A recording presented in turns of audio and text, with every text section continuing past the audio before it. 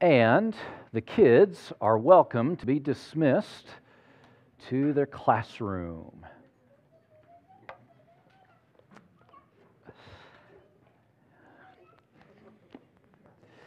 All right. Kids are welcome to be dismissed. And if you have a copy of God's Word, I'd invite you to open it up with me to Ephesians, and we'll be in chapter 3. So, after the last couple weeks when we were enjoying our, our Easter uh, services and our Easter sermons and series, uh, we are now back into our uh, course series, which is our union with Christ. Uh, this really powerful truth that we uh, better understand. We're uh, going through very cautiously, carefully, slowly as we look through these first three chapters specifically that uh, talk to this key principle of who we are in Christ, our new identity in Christ. So here we are in Ephesians chapter 3. Uh, we're going to be looking at verses 7 through 13, and this is going to talk to our access in Christ, our access in Christ. So here we are. I'll read it through first one time, and that is Ephesians chapter 3, starting in verse 7. Of this gospel, I was made a minister according to the gift of God's grace, which was given me by the working of his power.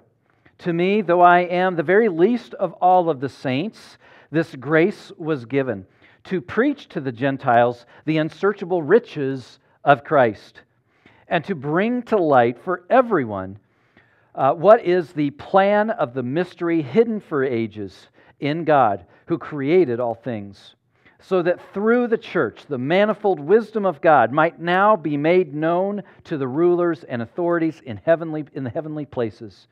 This was according to the eternal purpose that he had realized in Christ Jesus our Lord, in whom we have boldness and access with confidence through our faith in him. So I ask you not to lose heart over what I am suffering for you, which is your glory. Well, uh, to open us up and to kind of maybe get us in the right frame of mind, uh, uh, an idea or a, or a, picture came to me when I was thinking about this text. Uh, and I was thinking about the movie A Christmas Story. I know that this is totally the wrong time of year to be talking about this. I'm probably you're probably getting ready to throw some tomatoes at me because we want to enjoy this beautiful weather out there. But I but I have to think about it because this is what came to my mind. If you remember, uh, this story is focused on Ralphie. And Ralphie so desperately wants his Red Ryder BB gun for Christmas. And so Ralphie is, uh, uh, at, at one point in the movie, Ralphie is so focused, he's stressed because he wants, he's going to approach Santa Claus with his request for his Red Ryder BB gun. And so, if you remember the scene, he's waiting in the line at the store, and of course, this, this, this line it kind of walks up this big plateau to this uh, to Santa who's on his on his big chair and stuff. And so he's in the line and he's waiting, and this is everything is riding on Ralphie getting to share his his desperate wish with Santa Claus about this Red Ryder BB gun. That's how he knows that he has a chance of getting it. And if he doesn't get to Santa to ask for it, then he knows he has no chance whatsoever. So he's in line and the, and the pressure's building, and all of a sudden, over the intercom, it comes across that the store's closing, and so the time is now. And so he finally gets up there. He's going to be probably the last kid that's going to have the chance to make his request known to Santa Claus. And as he's sitting up there, and he gets, I mean, he's totally intimidated he's, he's standing there, he's worried, and so they, they get him up and they, you know, they grab him, ruffle, and set him on Santa's lap. Ho, ho, ho, if you remember that part of that scene. And so he's sitting there and he blanks out. And he, what do you want for Christmas, boy? And he goes blank. And he's sitting there, he, and, and you hear his inner monologue, which is really the star of the whole uh, movie. His inner monologue My mind had gone blank frantically. I tried to remember what it was that I wanted. I was blowing it. So Santa turns to him, and this kid with this blank look, and he says, Do you want a football? And he sits there and he just kind of gives this little nod and this blank look. And then he realizes that he blew it. And so the elf grabs him off Santa's lap and sends him down the little chute, right? All right, well, I think that in some ways, that gives us a little picture as to in, in how we at times are approaching God. If we think about it, here's the creator of the universe. And when we come before the throne of God, I think that it's easy for us to have kind of that same intimidation where, oh my goodness, I, I, I see that I'm a sinful, uh, sinful person. And, and, and here's God, the creator of all of the universe and creator of, of the stars and the heavens and creator of me. And here we are to approach God. And we can be so intimidated by that. But our text today talks to us about the boldness that we have before the throne of God. But again, we think about this, we're, we're nervous as we approach God when we think about Him. And, and again, there's a, definitely a layer of awe and wonder that we should have as we think of our Creator. Absolutely, we should. Well, again, this kind of came. I mean, I, th- I, think that there's ways. In fact, you could read through your text of Scripture, and in some ways, you'll find some sections in here that would kind of reinforce that idea. In fact, if you go back and, and read through uh, sections in Leviticus, you will get some of that awe and wonder and nervousness and fear of the Lord. In Leviticus, there is when it references the Day of Atonement. This was the day, the one day each year that the, that the high priest would go into the Holy of Holies and would make the sacrifice for the sins of first himself as the high priest and then the people. And of course, there was very specific instructions to the high priest, which is what we see in Leviticus. That's what uh, the, the, much of the book of Leviticus is, is the instructions for the Le- Levitical priesthood in terms of what they should do, how they should approach God. And so there's very detailed instructions uh, around the ritual associated with this. So uh, they would go in and they would have to. Uh, uh, first of all, the, the holy priest would have to bathe himself in a, in a certain way to cleanse himself and then he would have to put on very specific holy garments. He would put on a holy linen coat and a holy sash and a holy turban and holy undergarments. He would put everything holy on himself. I mean, he was he had to be just completely decked out exactly the way that it was laid out that God had, had given instructions to the people to do. So they were they would follow these instructions in absolute perfect detail. And of course, they knew that if they came in unrighteous, in an unrighteous way, into the Holy of Holies, they knew that, they, that God would tear them down instantly.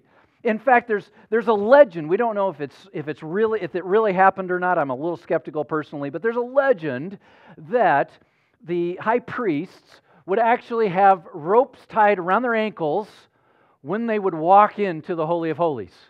So that if, because nobody else could go in there. And so if they went in and they were uh, and they weren't appropriately cleansed, and God just took them away instantly, or, or they struck them down right there, that, it, that then the other priests could drag them out of the Holy of Holies because they had instantly been taken away. So that was, uh, that was the thought. And again, in, in some ways, there was some, uh, some right thinking associated with it. I mean, we should be. This is, this is God that has given this very specific prescription as to how to worship Him and, and, and what we should look like and who only should be walking into the Holy of Holies, which really was the great high priest.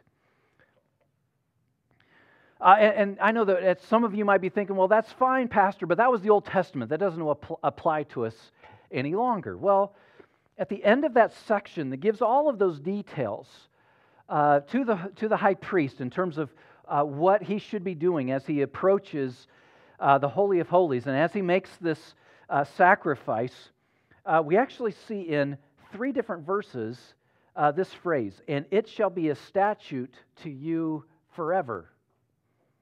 In fact, later then uh, in verse 31, it is a statute forever. And finally, it's repeated a third time, and this shall be a statute forever for you that atonement may be made for the people of Israel once in the year because of all of their sins. And Aaron did as the Lord commanded Moses. I mean, we get this picture that this was supposed to be something forever. I mean, so now are you thinking, are you sitting there thinking, well, wait a second.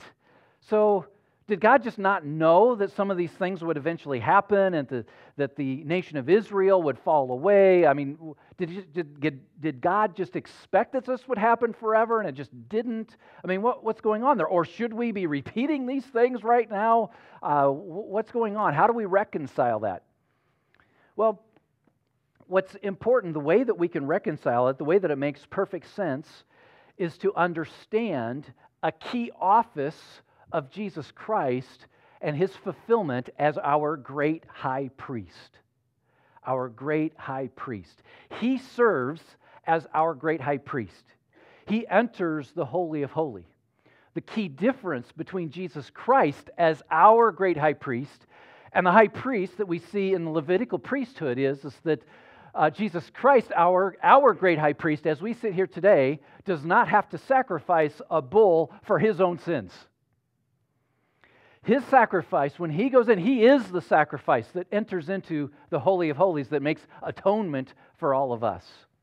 Uh, we see this in Hebrews. Hebrews, the book of Hebrews, uh, spends great detail covering this idea of Jesus as our great high priest.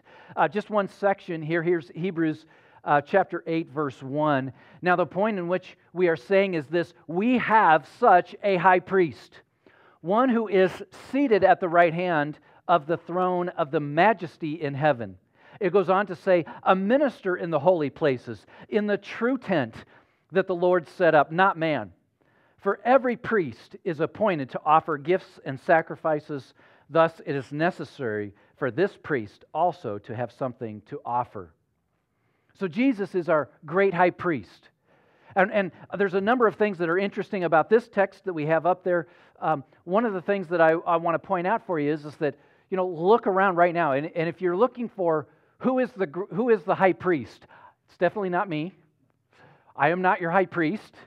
Uh, we don't have the high priests around us today. It would be wrong to appoint a high priest uh, uh for our church or anything like that because we have a great high priest. Jesus Christ is our high priest.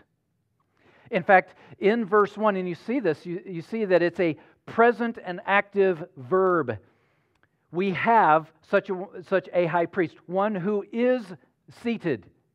He is seated. He was seated at the point that, uh, that the uh, book of Hebrews was written, and he's also seated there right now ministering as we sit here today. Jesus Christ is our great high priest. He functions in that role today. So we can uh, we sit underneath the great high priest who is Jesus Christ, um, and and uh, we know uh, that we have confidence because he is our great high priest. One of the things that would have made the Jewish people a little nervous was is that what would have happened if their high priest in the Old Testament, if their Levitical, Leviticus, Leviticus priesthood uh, entered in, and if he wasn't properly atoning for the sins of the people, then the sins would not have been atoned for. They would not, they would still be on their shoulders. So they would have been nervous. Boy, I sure hope that the high priest uh, properly cleansed himself before he walked in. Boy, I sure hope that he cast lots and chose the right goat uh, to sacrifice when he's in there. Uh, the people would, of course, have been a little bit nervous. But that's one of the things that we don't have to be nervous about today we have the perfect, great high priest. He serves as perfection in the Holy of Holies, making for our atonement right now. There is no need to offer anything for his own sin. He is able to walk into the Holy of Holies and, and uh, stand before God as our mediator, as our, as our great high priest. What a, what a tremendous and rich uh, concept that that is as we better understand it in Scripture. We also see in, uh, in another section of Hebrews, in Hebrews chapter 4, we see this in starting in verse 14. Since then we have a great high priest who has passed through the heavens, Jesus, the Son of God, let us hold fast our confession. For we do not have a high priest who is unable to sympathize with our weaknesses, but one who is who in every respect has been tempted as we are, yet without sin. And then in verse 16, we see this Let us then, with confidence, draw near to the throne of grace, that we may receive mercy and find grace to help in time of need. Look at that language. That we can, with confidence, draw near. The picture that we see laid out in Scripture in the New Testament, the picture that we see that, that Paul has for us in our core text here in the book of Ephesians, is not that we approach God with nervousness, with fear, with uncertainty. The picture that we see laid out here by Paul is, is that we are approaching God with confidence. That we, that we walk in, in boldness, and to be clear, church, this isn't a boldness based off of who we are. We are sinful in our own nature, but we are wrapped with the blood of Jesus Christ. We are made whole. We, when, when the Lord sees us, he sees the holiness and righteousness of his son Jesus, and he sees perfection. And that's the boldness that we step before the throne of God. You know, I think about uh, to continue the uh, illustration from, from the Christmas story. If you remember that part of the movie when, when little Ralphie gets sent down the chute, well, what does he do? Halfway down, he stops himself. He realizes his error and he realizes that he that he needs to he wants to get out that no no no santa you missed it i i failed it you got to hear the fact you got to hear me out so he stops and he turns around and he starts climbing, clawing back up the slide to, to make his protest before Santa Claus. Now, of course, my illustration is going to fall flat here because then he gets a big boot in the face and he gets pushed down the slide. And that kind of that kind of takes away the meaning of where I'm kind of going with this. But you know where I'm going. So we see that that the boldness that, you know, that's the boldness that Ralphie had finally of going. He's like, no, he's done with the nervousness. He's going to climb back up and he's going to make his pro- protest before God. He's going to make his request boldly before Santa Claus. And, and if we could muster that same uh, boldness that we come before the throne of God, and again, it's not anything in and of ourselves. When we come before God with boldness, then we will, uh, we, we have nothing to fear. We have nothing to fear.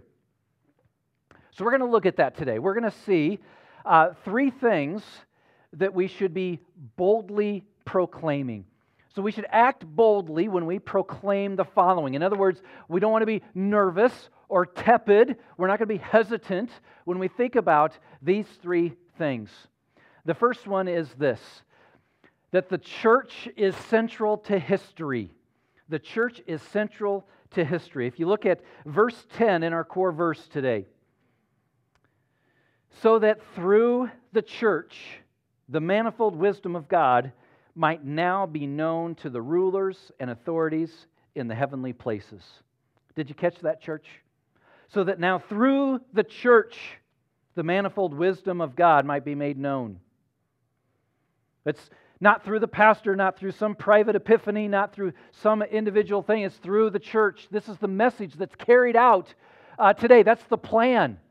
The plan is, is that the church is boldly proclaiming the message. Here's this open secret that we uh, have read. We, Paul has talked about that. We just looked at that. We'll look at it here in a second in, in a little bit more detail. But um, here is a new group of people. This is the open secret. There's a new group of people that are now uh, uh, standing at the feet of God. These new people, this new family, uh, they have shed their former selves and they have been reborn into a new ethnos, a new people group uh, that are now to make up the body of Christ. This new group of people this new group of people aren't Jewish, they aren't Gentile, they aren't Americans, they aren't Canadians, they aren't Hawkeyes, they aren't Cyclones, uh, they aren't Steelers, they aren't Cowboys, they are in Christ. In verse 10, we see this manifold wisdom. Do you see that manifold wisdom of God? Well, one of the ways that we can understand this manifold wisdom, what do they mean by that? In the Greek translation of the Old Testament, this manif- that word manifold was the same word that they used to describe Joseph's colored, uh, Joseph's technicolor dream coat. If you remember Joseph, and he had this, uh, he was given this special coat of many colors. Well, they use the same word, this manifold uh, coat, this manifold colored coat. So we see these many colors. And that's the, that's the picture that Paul is trying to draw for us of the church this manifold wisdom, this multicolored wisdom. Uh, the wisdom that uh, we are a multiracial, multinational, multi generational church. We are the body of Christ. We are made up of proud Americans and proud Canadians. I don't know if there is such a thing. Proud Hawkeyes. I'm just joking. I love Canadian friends. Um, proud Hawkeyes and proud cycl- well, uh, Cyclones and former Jews and former Gentiles, former Muslims, former atheists, former secular materialists. I mean, all of these people, we all uh, were that. But we all now come to Christ as one united body of Jesus Christ. That is our new identity when our Lord, when our Creator, when we stand before the Lord, uh, before His throne, He sees us in Christ. Maybe He sees some of those other attributes about us, but trust me, those are far below the fact that we are in Christ. That's what He sees.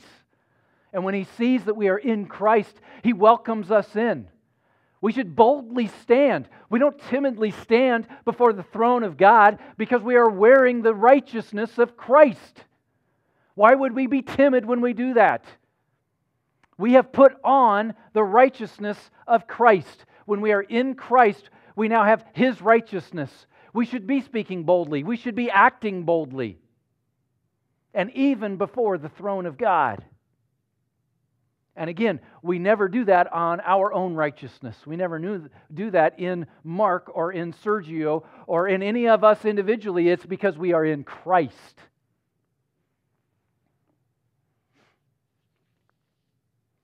Notice we see a number of places in Scripture that, uh, that the world is passing away along with its desires, but whoever does the will of God abides forever. Uh, in Isaiah, we see, For behold, a new, uh, I create new heavens and new earth and the former things shall not be remembered or come to mind.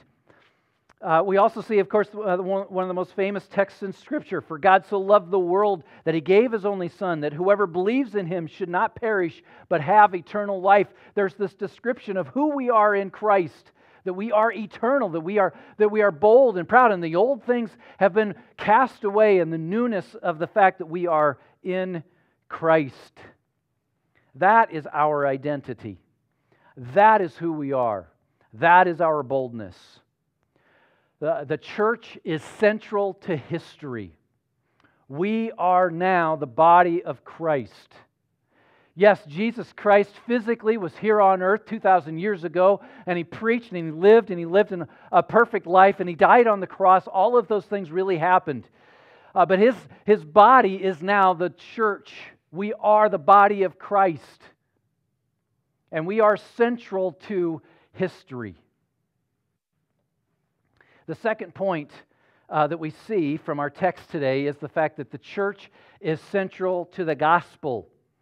Now, our Bible translators kind of cleaned up some of the language uh, in our text today. Uh, now, I know uh, you teachers here are going to need to kind of hold your ears uh, I'm going to use some language that's going to be really hard to hear. This is why we send the kids off out to the classroom. Uh, but in the original language, if you look at uh, verse 8, it says, To me, though I am the very least of all the saints. Well, Paul, in the original language, uses some really colorful language uh, in this section. Technically, he says, I'm the least of the leastists. I'm the lesser of the leastists. I'm the least of the lessers. He uses this really odd language in the original language that I'm sure people would have gone, What did you just say? Did you just make that up? I know, again, you teachers, you're probably, it's like fingernails on a chalkboard. You're, good thing your kids aren't here. You'd be giving them earmuffs right now. Don't listen to this type of language. This is not what you should be saying at all. But it was. That's in the, in the original language. He's the littlest of the leastists. Now, uh, Paul's name tends to have this word little associated with it. That's kind of, there's a, there's a reference to Paul's name that he might be using in there. We don't know for sure. But again, he's, he's really trying to punch this home. He's trying to say, I am the, less, the least of the saints. He puts himself extremely low. And I know all of us, I sure think this wow, if Paul's low, where am I? If Paul, who had the opportunity to be confronted by Jesus on the road, uh, on the road, and, and, he, and he was completely transformed, and now he's preaching the gospel, and now he, he was in prison for, uh, for his work, trying, trying to preach the gospel to, to the Gentiles. And if Paul was the least of the leastists, then who am I? But Paul connects this. Paul connects this to the gospel. Even though he is so low, he wants everybody to see the good news. And he wants to everybody to see what God has done in himself. That he was made a minister according to the gift of God's grace. It wasn't because of anything in him, it's to show off the glory of God. So he wants to point us to the good news. The good news. Look at verse 7. Of this gospel, of this good news, I was made a minister according to the gift of God's grace. Uh, this gospel that he's talking about is just pointing back to verse 6 right before that. This mystery is that the Gentiles are fellow heirs, members of the same body, and partakers of the promise in Christ Jesus through the gospel. Of this gospel I was made a minister according to the gift of God's grace. Paul sees such a deep connection to this mystery that has been revealed that there is no longer Jew or Gentile, there is just those in Christ. The gospel message is, is that we are all new. We are all new. We have shed the old and we are now new. We are a new creation in Christ. And, and that is an important part of that is intimately tied to the gospel message that Paul is wanting to share with the world. Now, this is important because we know that this gospel message must go out to the world. I mean, we've talked about this in the Great Commission. All authority on heaven and earth has been given to me. Go and make disciples of all nations, baptizing them in the name of the Father and the Son and the Holy Spirit. We know that that is the, the charge of the church is to uh, uh, is to bring the message. The gospel message is not only out to all of the people groups, which is what it is, but it also going out through all of the people groups.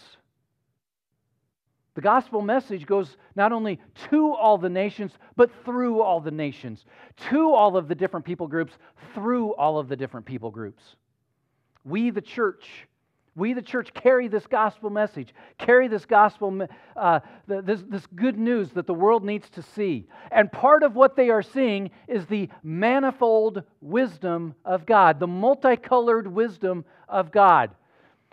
Not all of the Christians are going to look the same. Some are young, some are old, different color, different background. We might be wearing Hawkeye sweatshirts or Gopher sweatshirts or Boilermaker sweatshirts, but we're all preaching. We're all sharing the good news of Jesus Christ. We all look different. But part of our witness to the world is the fact that all of these different people groups all have come together. They have united under one thing, and that is Jesus Christ. I think it's interesting. I've, I do not know if you've ever been in this situation. Um, you, you walk home from church, or excuse me, I'm sorry, you walk home from work. You get home from work, you come in the door, and your lovely spouse is there, and hey, honey, welcome home. How was your day today? Oh, I had a tough day today. That dad nab boss of mine, you're about ready to start laying all of a sudden, then you realize, then, then your spouse says, the kids are right there. Oh, uh, well, yeah, my boss, I'm praying that he receives some grace from God. Uh, it was a kind of a difficult day. You know, have you ever been in that? So, so the audience will sometimes change how you react to things, right? And how you portray things. So if your kids are around, you're probably going to soften the message a little bit. You're probably going to scrub it a little bit. You're going to look a little differently when the kids are around, right? Well, part of what Paul is communicating in this section is, is that uh, we uh, are being watched by not only the world, but really the universe. The whole universe is watching us, the church.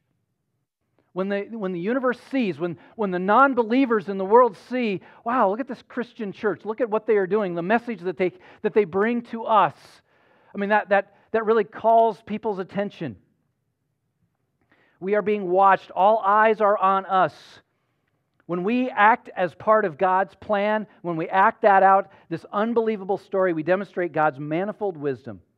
And when we put our differences aside and love each other as family, God is glorified to the unbelievers and the heavenly hosts. Did you see that in verse 10? So that through the church, the manifold wisdom of God might now be made known to the rulers and authorities in the heavenly places. The angels are watching us.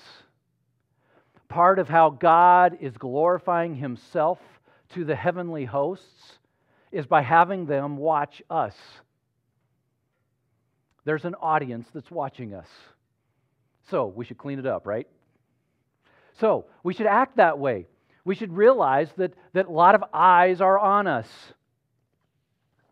And when we do that, when we live it out, when we, the church, when we, the church of Jesus Christ, when we preach Jesus and live our lives according to Jesus, we proclaim loudly to a, to a massive audience beyond anything that we even understand.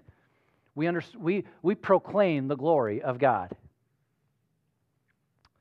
Uh, the third point is this that the church is central to Christian living. The church is central to Christian living.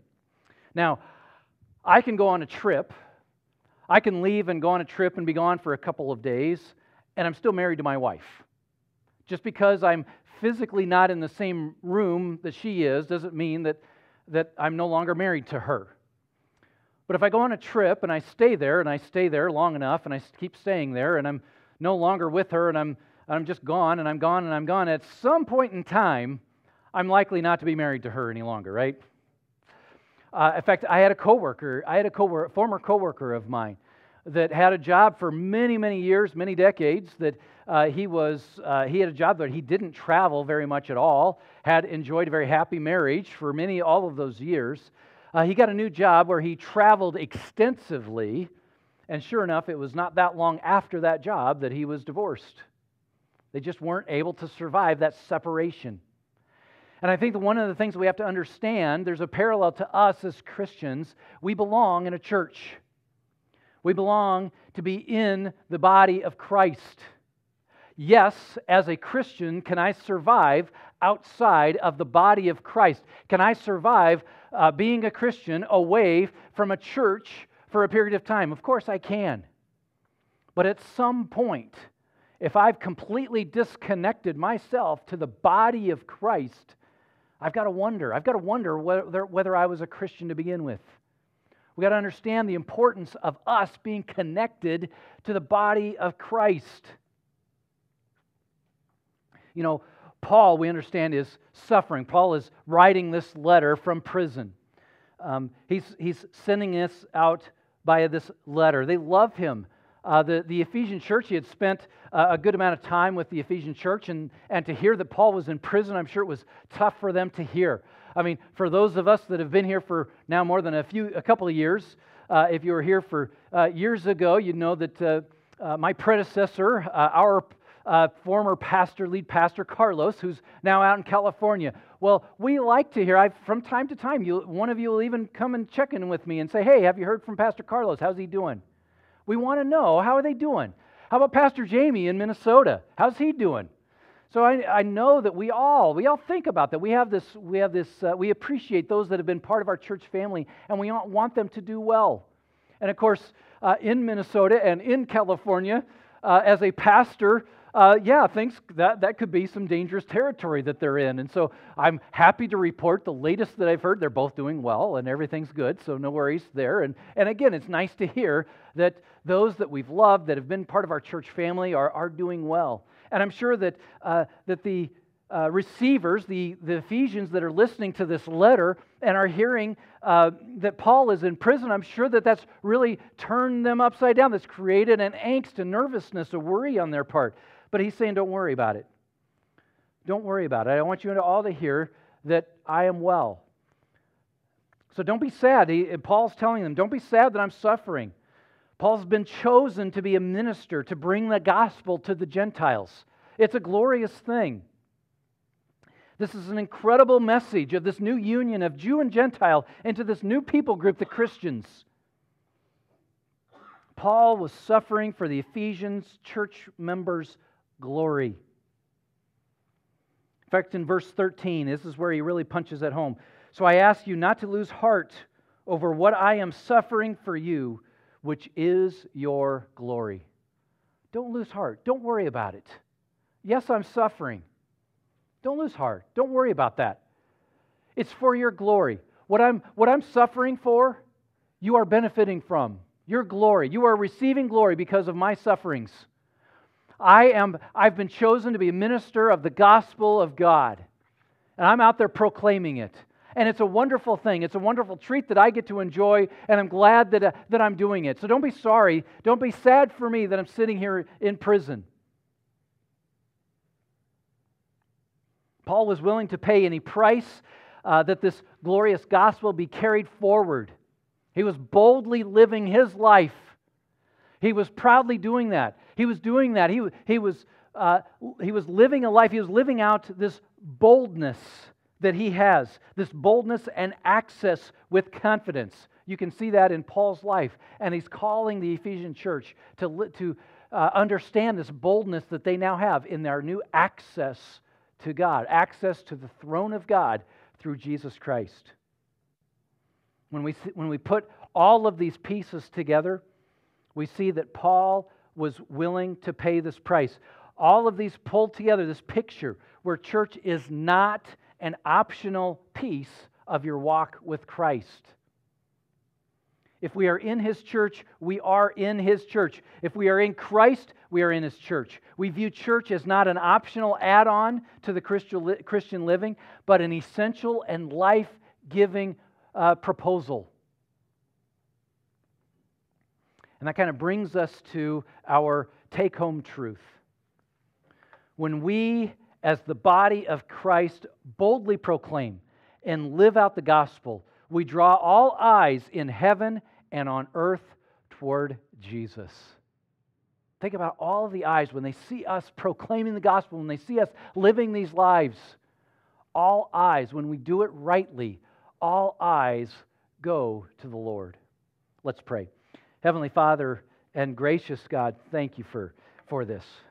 Thank you for this message. Uh, Father, today we don't tiptoe in before you. We aren't timid today. We're not nervously coming uh, in prayer as we pray to you today. We are boldly coming before your throne. We come to you not in our own accord. If we were to do that, of course, rightly, we would be in doubt and fear and in trembling, but instead, we come boldly to you through Jesus Christ. Father, I pray that you would help us see the opportunities, opportunities to witness boldly in Christ. I pray that we are carrying this message, that we are living this life, that we as a church are living strong lives, that we are interconnected, that we are loving each other, that we are loving others around us to, to share the good news. Father, I pray that uh, in all of this uh, multi generational, multicolored, multi ethnic church that we all are a part of, I pray that, that that is part of our witness to the world. Let us always re- remember that there are many eyes watching us, both here on earth and in the heavenly places. May all of our actions draw people to you through your Son Jesus. It's in His name that we pray. Amen. Uh, it's now at this time that we will enjoy communion. If you have not had an opportunity yet, please grab elements that are at the table and uh, we will partake together.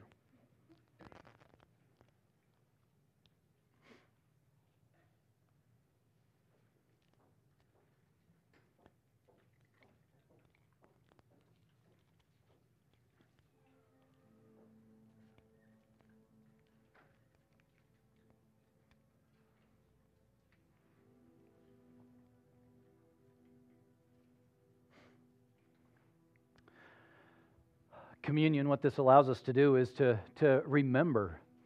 We remember where the boldness that we have comes from. Again, it's the body of Jesus Christ. The bread represents his body that was given for us. His payment on the cross for our sins is what makes us right. This is our boldness as we, as we think about the body of Jesus Christ. He is our great high priest. That's how we can, we can boldly come to God. We know that atonement was rightly made for us.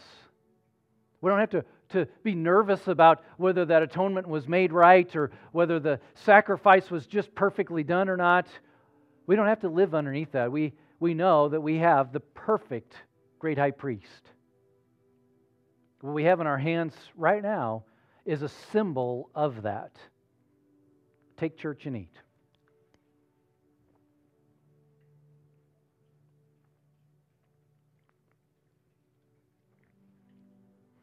And the blood represents, the cup represents the blood of the new covenant. The new covenant in Jesus Christ, in our great high priest. Not only is, our great, is he our great high priest, he is our atoning sacrifice. It's not a, a bull or a goat or anything like that. It was the Son of God Himself that sacrificed for us. Take church and drink. Hmm. Father God, thank you. Thank you that we have the opportunity to be reminded of the payment that was made, the perfect price we do serve the great high priest who is right now sitting at your right hand. He has made atonement for us, He ministers for us. These are not things that have just happened years ago. This is, uh, He sits there on the throne today. Thank you, Father. May you be glorified. In Jesus' name we pray. Amen. And now, would you join me in standing and singing our last song?